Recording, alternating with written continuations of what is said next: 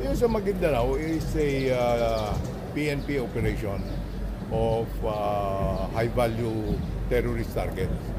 Ngayon, uh, nagampanan nila, uh, according to reports na they were able to neutralize one of them, uh, si Marwan. Although yung isa nakawala, yung si Basit Usman.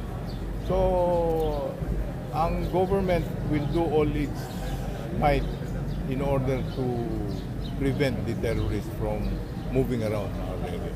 Secretary, how did we confirm yung pagkamatay ni? Well, we have no confirmation, but that was the report we got last time. we're still validating. We will validate that. Uh, I am going to uh, Cotabato today so that uh, I can get more accurate information to be able to uh, disseminate to you. Sir, to- totoo po ba na hindi nakipag-coordinate yung PNP sa military? Yung They nag- nag-coordinate nag-conduct, naman at, uh, at the tactical level.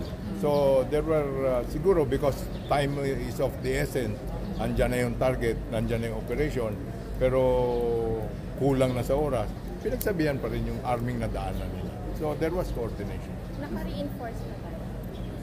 Nag-reinforce tayo uh, kahapon ng hapon nung nag nagkaroon na ng enkwentro.